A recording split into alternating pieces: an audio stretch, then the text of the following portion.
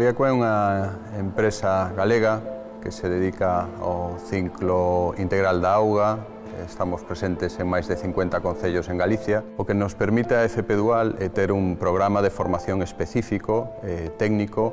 para eh, estar adaptado ao que nos necesitamos en, en Viacua. Colaborar con este centro fundamentalmente o que nos permite ter un programa de formación adaptado eh, específico ao ciclo integral da auga que polas especificidades do, do noso eh, sector pois non é fácil encontrar no mercado. E aquí o que conseguimos é que todo o persoal que pasa por a FP Dual teña eses coñecementos eh, específicos e adaptados á empresa, que cando se incorporan á empresa pois eh, xa teñen esa formación o que nos permite pois, eh, empezar eh, dun grado moi avanzado con eles.